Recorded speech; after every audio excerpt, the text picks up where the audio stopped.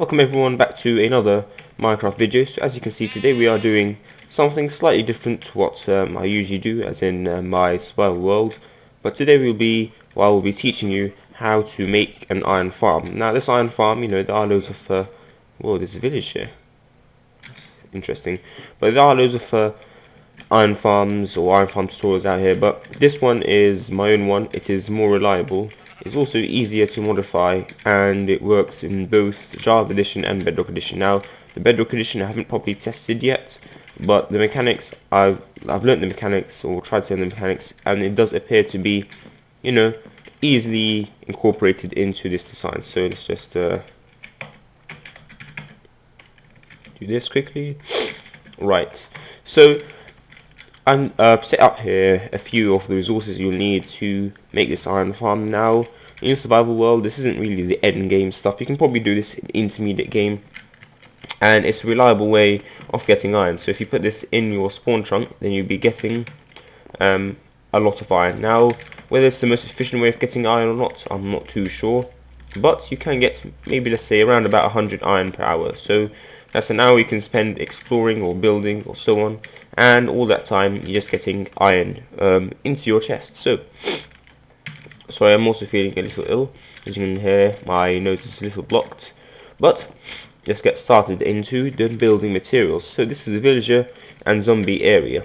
These are materials that you'll need cobblestone carpets, fences and this is where it gets interesting. So of course I'll explain this a lot more later as we to get into it but you will need for Java Edition minimum of five villages and for uh, bedrock edition it's slightly more complicated but you will need 10 villages for that, at least 10, and also you'll need 21 doors. Now in addition to this you'll need beds, so you have 5 beds here, but it's a bed for each villager, and also a workstation for each villager. So again, if you're doing bedrock edition you'll need more.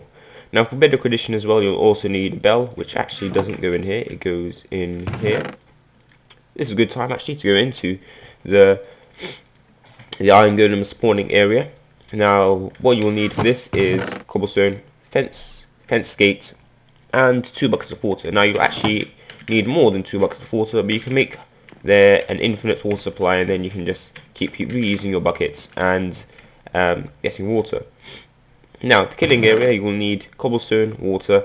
Again, this is just, you can do the infinite water supply trick.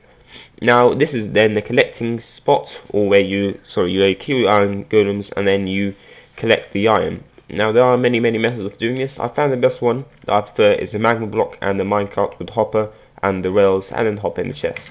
That is um, the most the least resource intensive way and also magma blocks don't destroy items and the minecart with the hopper collects them quickly. Okay, so let's get started into building this. Okay, so first of all what you need to do is you need to collect your scaffolding. So obviously in creative I don't necessarily need scaffolding, but it might be easier for me just to show you um, how things are done. Now if we go in here and you just build up scaffolding. Now you want to make this relatively high just because villagers have a particular set of like a routine, let's say, when they are about to spawn an iron golem and one thing they check is how uh, if there's an iron golem close by because if there's an iron golem close by they don't um, spawn in another one. So this is probably you know a little bit uh, too high for your average survival world but this can do this will do for our uh, you know tutorial here. So next up what you need I'm not going to go back and forth I'm just going to get what I need. So next up what you need is your cobblestone. Now cobblestone what you want to make is both a zombie running around area in the middle and a zombie area, uh, sorry, yeah, and a villager area around the side. So, what I do is I have a 25 by 25 square, and then after that we can build on from there. So, 25 by 25 square is simply middle block 1, 2, 3, 4, 5, 6, 7, 8, 9, 10, 11, 12, and then here 1, 2, 3, 4, 5, 6, 7, 8, 9, 10, 11, 12. So around 24 here, 1, 2, 3, 4, okay, and so on and so forth. So I'm going to build this for you and um, then I'll return back. Okay, so as you can see I've built my uh, uh, 25 by 25 platform now. 25 by 25, it's not like a, actually I might need that later.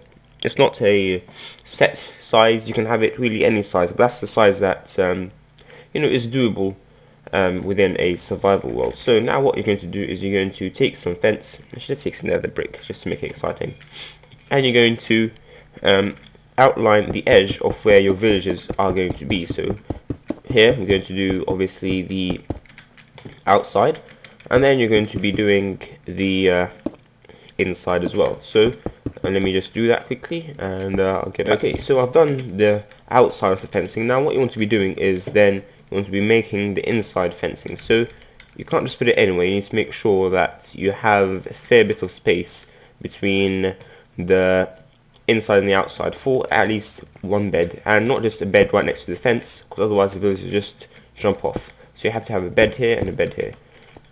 And then you can make again a fence on the other side. And this is around about the, you know, this space that the villagers should have um, when uh, they are, you know, moving around. So this is, I think, not enough for a bed, so it should be here. So this should be the corner of the fence, of the, sorry, the inside fencing. So I'm just going to do this quickly, and then um, I'll cut back. Okay, so we have done the village area. This is now not yet finished, but we'll come back to this in a while. So what we're going to do now is we're going to take our scaffolding and we're going to go up a few more blocks. Now, again with this, isn't really required amount how many blocks needs to be higher up, but not too many. I think is it. I think it might be 16, but I'm not too sure. I think it might be 16 blocks up high that the, the villager can actually spawn in iron golem. So around about, you know, one more, get one more, that should be fine. Now this is where your iron golems to spawn. Now we'll talk about iron golems spawning later on, but what you want here is simply nice, you know, 5 by 5 little square. And what you then want to do is you want to uh, make sure that that is covered on all sides. Um, sorry, first of all you want to cover two sides by your fence gates, uh, fence posts rather. So like this. and then obviously you want to do the other side let me just do that quickly here we go and then what you want is you want your whoops you want your uh, fence gate. So let me just get the fence gate quickly. Here we go. And you want those to be you know right next to no that's wrong fence gate. Oops there's my nether? Of course yeah. You don't actually have another fence gate, do you? That was me being silly. But you want your fence gates connected like this. Obviously it's kind of tricky because you need to shift whilst um, adding them, but like this. Come on, come on game, okay. And all of them to be open. Of course it doesn't really matter which side they're open. And then you want to do that to the other side. So again, one, two, three, four, five, one, two, three, four, five. Now you notice this part looks a little bit like, uh, I believe it's Dokem's, um, um, uh, uh, come on man, uh, his uh, iron farm. But uh, yeah, this is about it really. Um, all the similarity there is between this uh, and Dokem's iron farm, this spawning area. And now we're going to be doing even more things with it as well. So then what you want to be doing is a line of water sources here, and this essentially is this essentially means rather that iron golems once they spawn in will fall to the side through the fence gates and down into your killing zone which we'll work on just now. So after that what you want to be doing is you want to kind of extend the brick uh, the brick fence so you want to be doing it you know a few blocks higher, uh, three blocks along one two three yeah three blocks should be fine and then again on this side one two three and one, two, and three. After that, this is nearly finished. Of course, we'll come back to this later for yet another thing. Wait, have I? Oh dear.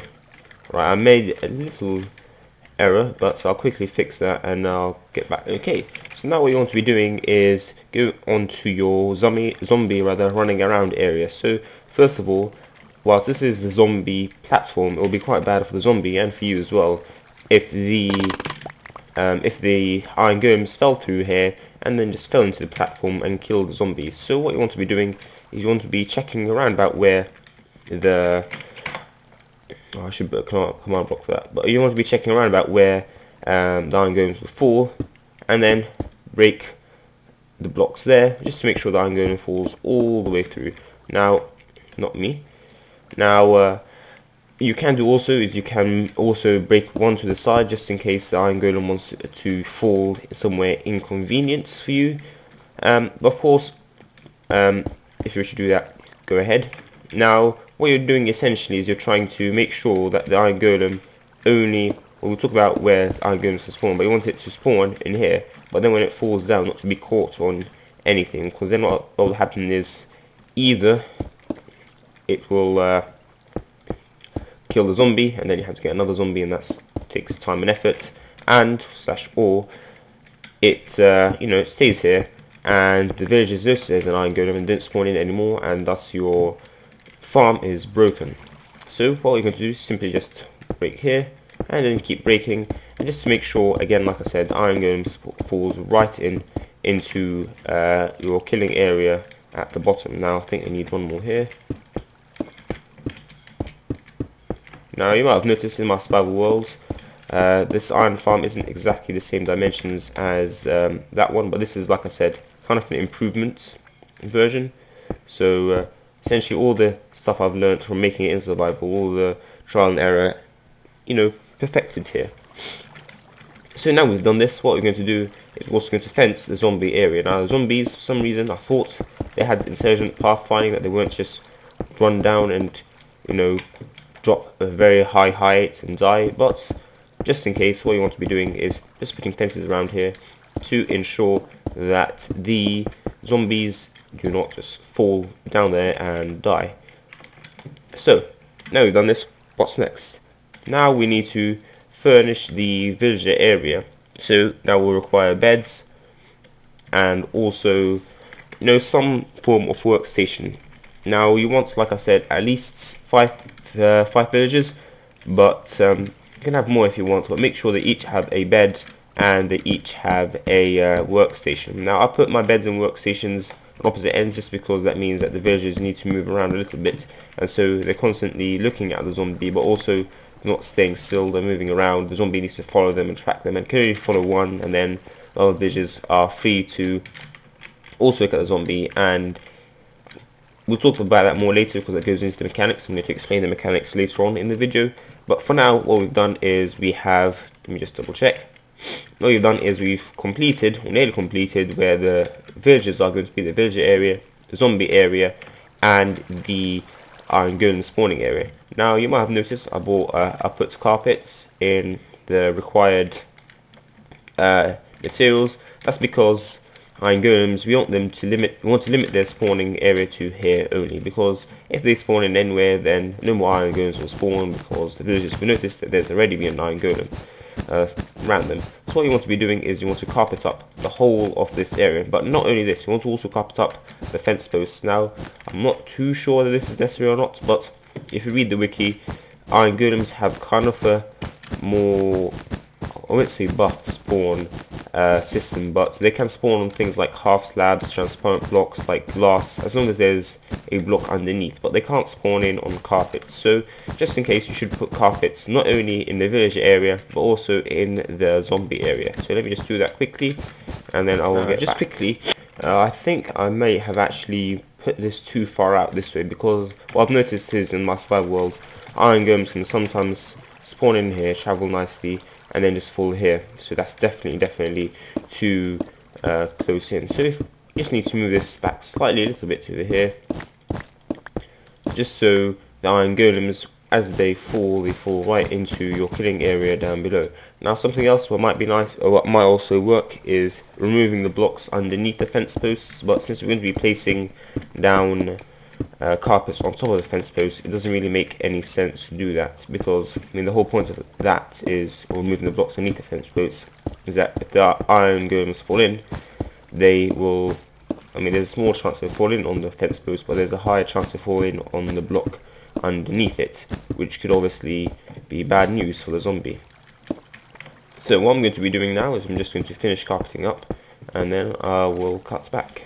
Okay, so I finished carpeting up and as you can see I also carpeted up the um, workstation as well because I believe they count as solid blocks. So now what we're going to be doing is we're going to be starting work on the killing area. So first of all you want to make sure that you know which orientation your get rid of this.